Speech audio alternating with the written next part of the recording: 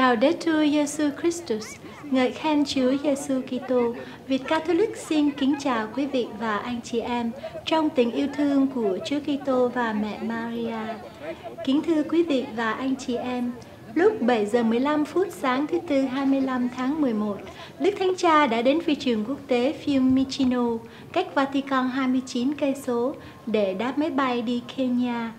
Chào đón và tiễn chân Đức Thánh Cha tại phi trường. Có Đức cha Gino Rielli, giám mục giáo phận Porto Santa Rufina, bao gồm phi trường Fiumicino, chiếc A330 của hãng hàng không Alitalia đã cất cánh lúc 7 giờ 45 và phải bay mất gần 7 tiếng vượt đoạn đường dài 5.389 cây số để đến thủ đô Nairobi của Kenya watakuwa katika eneo lile. Zaidi ya waumini elfu moja wa kanisa Katoliki wamealikwa hii leo jioni katika ikulu ya rais kwa ajili ya dhifa hii ya mapokezi ya kumpokea Baba Mtakatifu. Đức Thánh Cha Francisco đã đáp xuống phi trường quốc tế Jomo Kenyatta lúc 16 giờ 40 cùng ngày, tức là 20 phút sớm hơn dự định. Quý vị và anh chị em có thể thấy an ninh rất nghiêm ngặt đến mức các giám mục ra đón ngài cũng phải đứng ở vòng ngoài. Giờ đây, Đức Thánh Cha đang vào trong phòng khánh tiết sân bay để ký sổ lưu niệm, trong khi các đoàn múa hát của anh chị em giáo dân tiếp tục nhảy múa bên ngoài.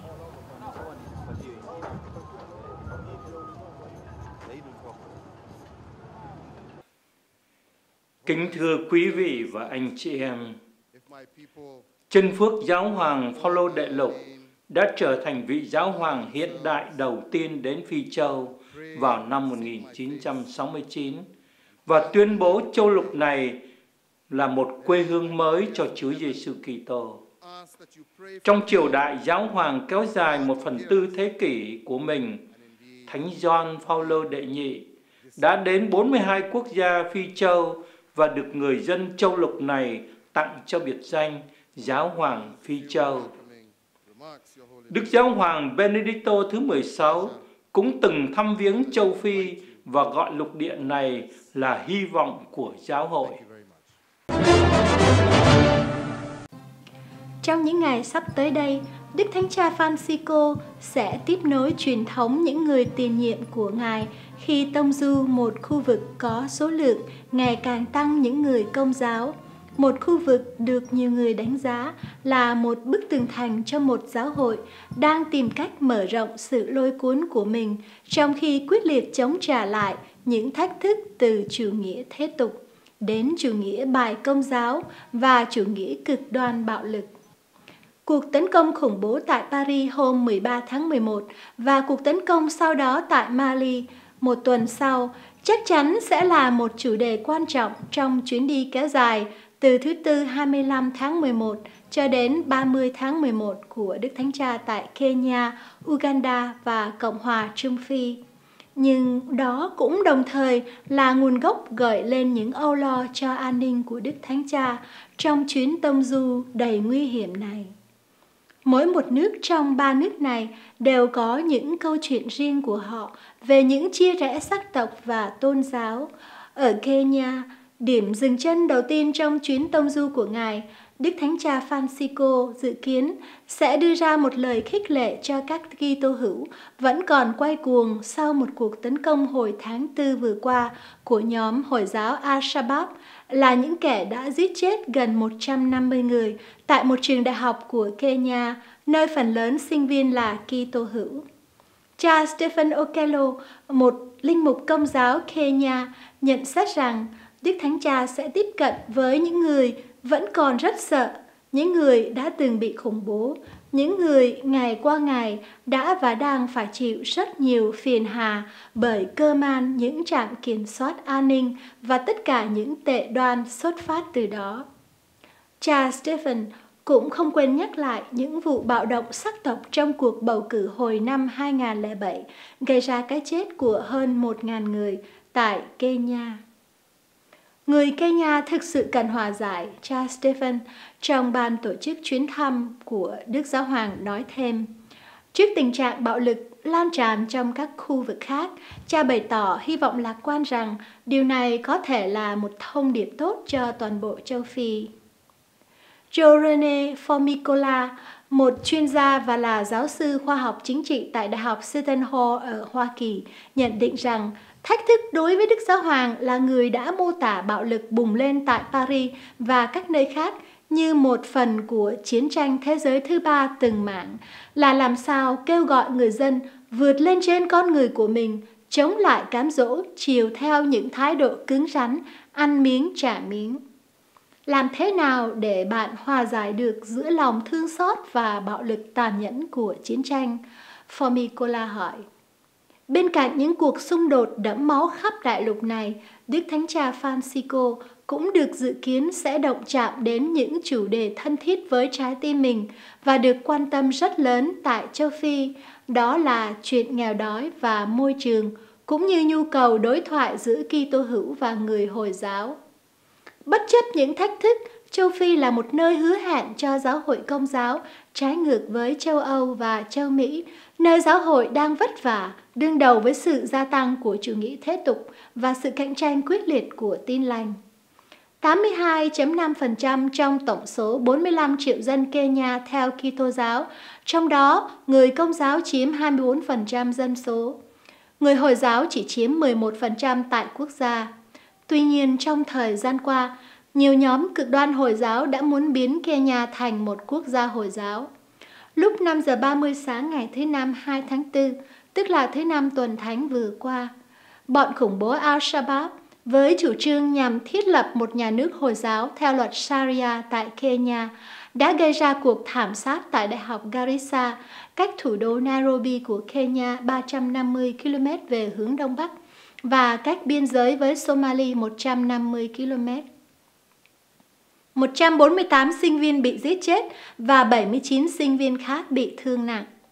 Mohamed Mahmoud, một thầy giáo người Kenya đã dạy học nhiều năm tại nước này cùng với Abdirahim Abdullahi đã từng tốt nghiệp luật khoa tại Đại học Nairobi vào năm 2013 và là con trai của tỉnh trưởng tỉnh Mandera ở phía bắc Kenya, giáp biên giới với Kenya, đã dẫn đường cho bọn khủng bố Al-Shabaab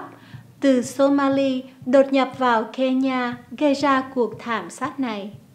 Abdirahim Abdullah bị bắn chết cùng với ba tên khủng bố khác, trong khi Mohammed Mohamud nhanh chân tẩu thoát. Chính phủ trao giải thưởng lên đến 215.000 Mỹ Kim cho ai chỉ điểm dẫn đến việc bắt sống hay giết chết y, nhưng đến nay vẫn chưa biết tông tích tên khủng bố này. Kenya có 4 tổng giáo phận, 21 giáo phận và một miền giám quản tông tòa. Lúc 18 giờ, nghi thức đón tiếp chính thức đã diễn ra tại dinh Tổng thống. Sau 21 phát súng chào mừng, Đức Giáo hoàng Francisco đã có bài diễn từ trước Tổng thống, đại diện chính quyền dân sự của Kenya và ngoại giao đoàn. Đức Thánh Cha nói,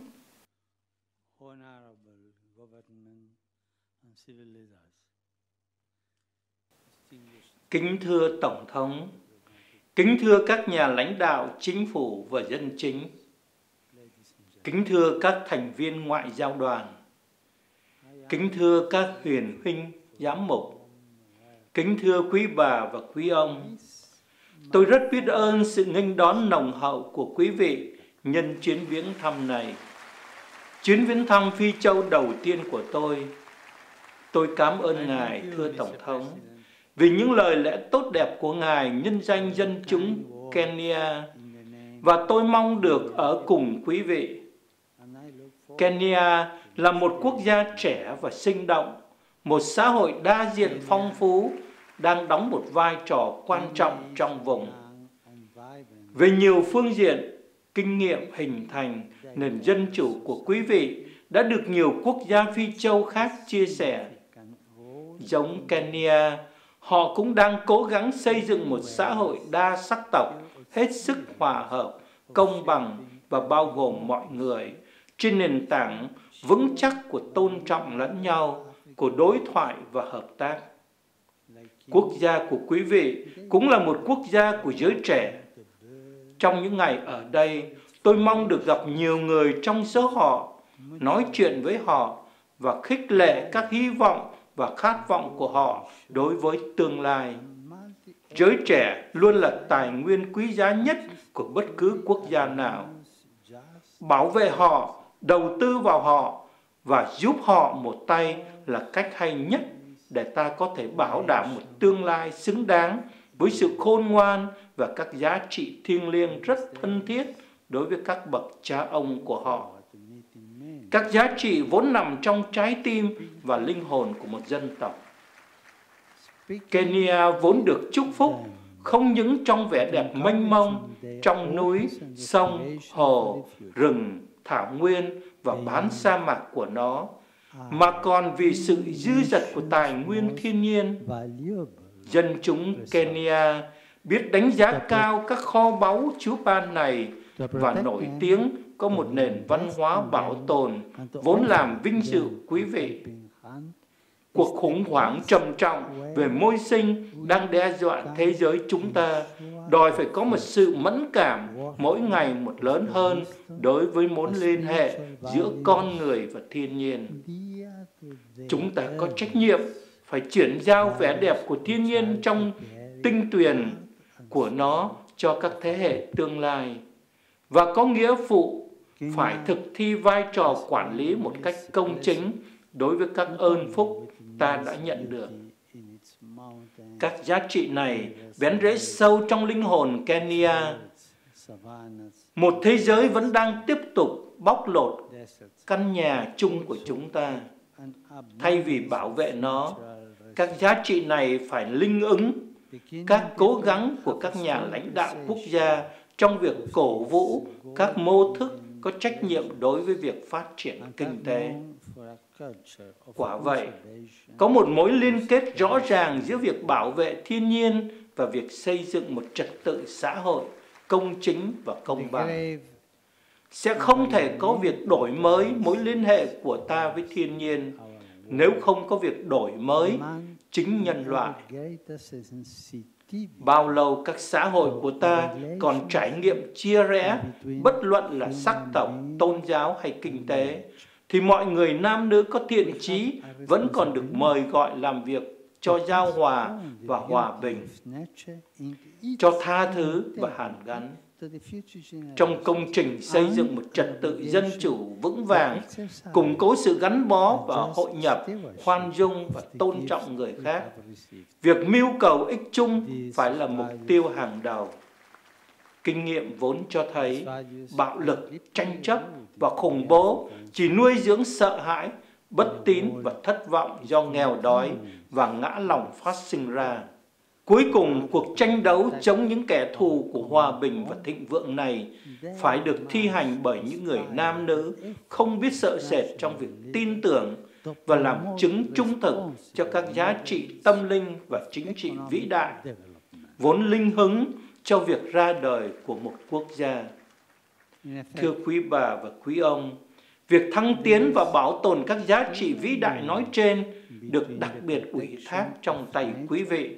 các nhà lãnh đạo đời sống chính trị, văn hóa và kinh tế của xứ sở. Đây là một trách nhiệm lớn lao, một ơn gọi thực sự trong việc phục vụ toàn thể nhân dân Kenya. Tin mừng dạy chúng ta rằng những người được ban cho nhiều sẽ bị đòi hỏi nhiều. Trong tinh thần này, tôi khuyến khích quý vị làm việc trong tinh thần liêm khiết và trong sáng, vì ích chung và phát huy tinh thần liên đới trên mọi bình diện của xã hội. Cách riêng, tôi yêu cầu quý vị chứng tỏ một quan tâm đích thực đối với các nhu cầu của người nghèo, các khát vọng của người trẻ và việc phân phối công chính các tài nguyên thiên nhiên và nhân bản mà đấng tạo hóa đã chúc phúc cho đất nước quý vị. Tôi cam đoan với quý vị các cố gắng liên tục của cộng đồng công giáo trong các công trình giáo dục và bác ái để cúng hiến phần đóng góp chuyên biệt của mình trong các lĩnh vực này. Các bạn thân mến, tôi được cho hay tại đây, tại Kenya này, vốn có truyền thống để các học sinh nhỏ tuổi trồng cây cho hậu thế. cầu mong cho dấu hiệu hùng biện của hy vọng vào tương lai này và niềm tin tưởng vào tuổi trẻ do Thiên Chúa ban cho này nâng đỡ tất cả quý vị trong cố gắng vun sới một xã hội lên đới, công lý và hòa bình trên mảnh đất quê hương và khắp lục địa châu Phi vĩ đại. Một lần nữa, tôi xin cảm ơn quý vị vì sự nghênh đón nồng hậu của quý vị và tôi khẩn xin Thiên Chúa ban phúc lành dư thừa của người xuống trên quý vị và gia đình quý vị, cũng như trên mọi người dân Kenya yêu quý. Mungu Abariki Kenya xin Thiên Chúa chúc lành cho Kenya.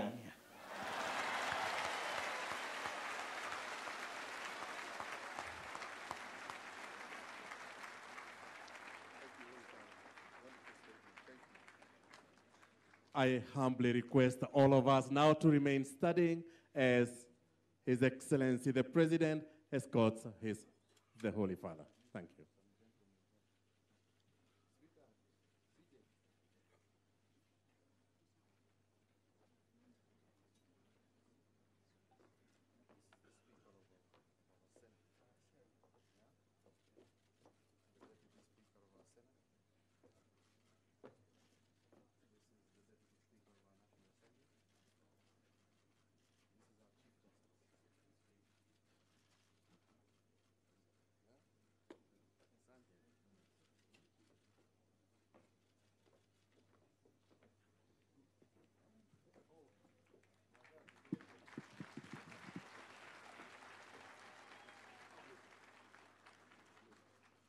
I humbly request all of us to remain studying where we are, kindly.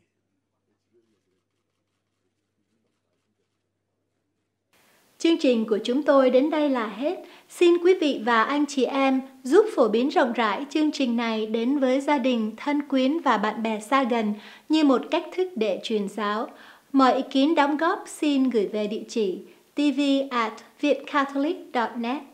Xin cảm ơn và hẹn gặp lại quý vị và anh chị em trong lần phát hình tới. Laudetur Jesu Christus, ngợi khen Chúa Giêsu Kitô.